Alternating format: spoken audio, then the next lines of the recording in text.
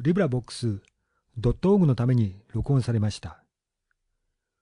夏花の歌。その1空と牧場の間から一つの雲が湧き起こり小川の水面に影を落とす。水の底には一つの魚が身をくねらせて日に光る。それはあの日の夏のこと。いつの日にかもう帰らない夢のひととき。黙った僕らは足にもぐさを絡ませて二つの影をずるそうに流れに任せ揺らせていた。